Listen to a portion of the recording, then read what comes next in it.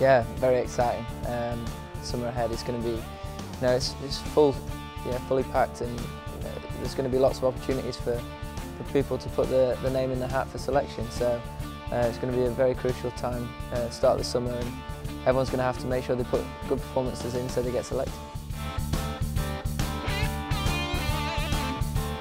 Ben Stokes is obviously um, he did very well this winter, and you know I can see him doing some really good things for England in the future. Uh, Gary Ballance is a very good talent, and you like Moeen Ali as well, who's, who's come into uh, the side this winter and, and performed straight away, which is, is really promising. Uh, there's another young lad called Sam Robson who plays at Middlesex here, um, who again has, done really well this winter for the for the Lions and, and the EPP program. Um, so it's, it's very exciting. There's a lot of good young talent around, and hopefully they can, um, you know, really push for spots along with myself.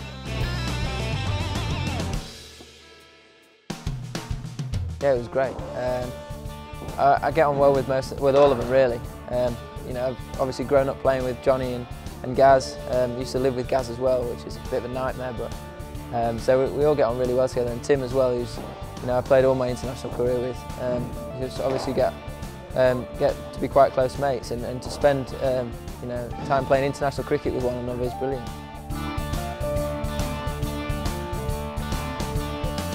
Well, you always want to play against the big names like Sangakkara and uh, Jayawardene, you know, your Do Dhoni, um, all the big names. You want to play against them all, but both sides are full of, of, of, really talented players, and it's, it's going to be a really, uh, really interesting summer, and you know, one that should should uh, be full of really exciting cricket. So I'm really looking forward to it.